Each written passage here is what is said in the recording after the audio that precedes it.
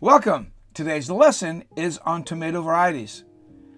Today what I'm going to try to do is try to explain just very briefly what some of the more popular varieties are uh, in the uh, commercial as well as the fresh uh, market of tomatoes. Uh, one of the first ones I want to talk about is slicing and global tomatoes. Uh, they tend to be more rounded, obviously kind of reddish, um, and, these are slicing or global types. These are the ones that a lot of us will buy at the grocery store.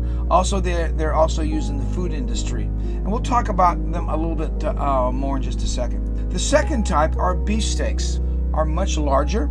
They're more rectangular than anything else, and they're used for slicing that you would use, for instance, in sandwiches. The next one I'd like to talk about are plum tomatoes. They're relatively new to the marketplace. They've been primarily bred to have higher solids, thicker skin. And you're going to see these in tomato pastes and tomato sauces.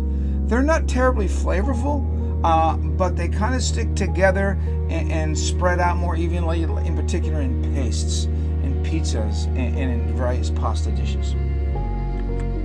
And our fourth type today is one that we've all enjoyed in the summertime, and that's cherry tomatoes. Uh, cherry tomatoes are the smaller variety. They come in a variety of different colors. They tend to be more flavorful and have a more sugar content in it as well. You can see it in salads in particular. You don't have to slice them or anything else. Uh, these particular ones are really noted for the sweetness, and later in the video, I'm going to talk a little bit about Brix and what, what those Brix mean.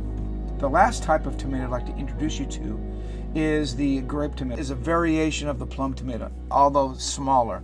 Very much like a, a cherry tomato. Um, and about as sweet, but during this next phase of the lesson, what I'm going to be doing is I want to talk about a particular variety that owns about 90% of the market share in California when we talk about fresh uh, market uh, tomatoes. It's called the Quality 21, 23, or 27. Each one of those numbers represent a specific variety within the variety um, that usually has to do with disease resistance or maybe where it might be uh, planted or grown in, in certain parts of the West. Now, this is what it looks like. It's round, it's heavy, and it really is a great deep red color. Everything you'd think you'd want in, in a tomato, but one little catch. It was designed primarily to be picked green and then gassed with ethylene to help along the, the ripening process. Why would you want to do that? Well, it helps control the ripeness. So you can help control the shelf life and, and if it has to be packed in certain uh, time and then shipped somewhere else, then they can basically turn on and turn off the ripening process. So from a from a shipping and commercial point of view, it makes sense to be able to control that. And ethylene gas allows us to do this. We're, we're, I have a picture up there of a packing shed that was sorting and cleaning those those green tomatoes. They're going to be shipped probably somewhere else, or maybe stay there to be gassed for a particular market. So it reaches its its peak of color and condition by the time it reaches the market. Now flavor, that's a whole nother story, and I'll get to that near the end of, of the lesson because it, it, it does impact um, uh, the how, what kind of flavor we get here. Now, let's take a look at some of the other slicing varieties. Now, Ace Tomato has been around a lot of years. It used to own the marketplace, so it's a 50 plus year old variety. Not so good on disease resistance. That's one of the reasons it's been replaced. But still, uh, if you're growing them in the backyard, they're a medium sized uh, variety and uh, uh they, they're pretty decent producers. Uh, not terrific, um, but I think you'll find uh, some Ace Tomato improved varieties around. The next one is a celebrity. Uh, the, the celebrity type is kind of a modern heirloom. Um, and it's, again, I'm going to primarily grow in the backyard. It's a determinate one as well. And the actual scientific name actually means wolf peach. And the reason they call it that is because if I could hold it up and show you, it kind of shaped like a peach. But this is a pretty good uh, yielding, pretty fair disease resistant variety and one that you'll see quite a bit probably in the seed catalogs. Now, the one that I personally like a lot is the early girl uh, because it is um, a medium sized one again. It produces extremely, extremely well, and the flavor is to die for. It's extremely sweet, and it's an indeterminate, which means it produces a lot of tomatoes for a lot of time. And uh, the early girls, some people kind of joke that they grow dry land because it doesn't need a whole lot of water. And if you grow it in the spring, you'll get it all spring and then early summer and continue it if uh, you uh, actually introduce it with some, some water. So early girl is also a very pro, po, uh, popular variety. And then when we get to, the, to Roma uh, um, types, these are the ones that you'll find in uh, some kind of pastas and salsas in particular. So uh, they've been bred to have thicker skin, more solids uh, to them, um, so they have a little bit uh, more body to it. So those are some of the other varieties that are out there that you may be familiar with. Now, flavor. Flavor comes uh, basically from some flavor compounds that, that are stored in leaves. And uh, that's pretty, deter- pretty much determined by the kind of tomato that you're going to be growing. They're basically, there's three types.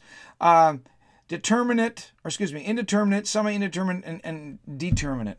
But really, I'm going to talk about indeterminate and terminate. Indeterminate tomatoes, at their end, at their their meristem or or their um, uh, buds at the end, they, they're going to continue to grow. There is no gene to turn them off in terms of growing. So they'll just grow and grow and grow. And you'll have throughout the entire year or, or uh, seasons that, that they're alive, they just continue to produce. Uh, you can um, you can definitely uh, prune them uh, to fit on stakes and trestles and a variety of other things, and they'll produce. Like for instance, cherry tomatoes are a great example of an interment. They grow on vines, and you'll just get them all season long as long as it's warm enough. The determinate ones are called bush uh, tomatoes, and uh, they typically will stop at a certain. There's a gene that says, "All right, everybody stop." At the terminal buds, you're stopping. Lateral buds, you're going to stop. That's it. That's all we're going to get. And then all of the, the, the fruit pretty much ripens in about one to three, one to four weeks. It's it's gonna gonna give it all all of it's got in a short time, and you don't want to prune it because you obviously want to do that. Now, what does that have to do with flavor? Flavor is actually in the leaves. It's produced in the leaves and passed on to fruit. So the more leaves you have, um, the more sugars you're to have. And we call those Brix.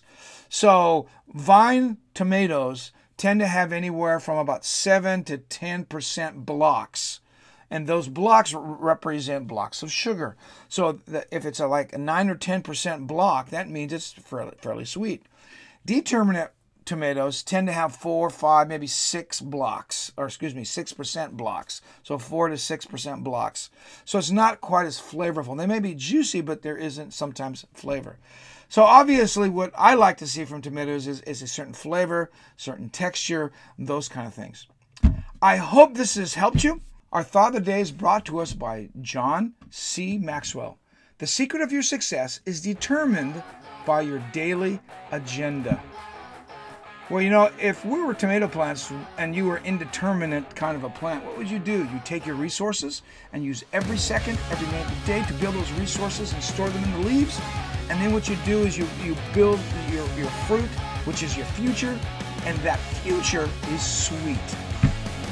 Think about that. We'll see you later. Thanks. Bye.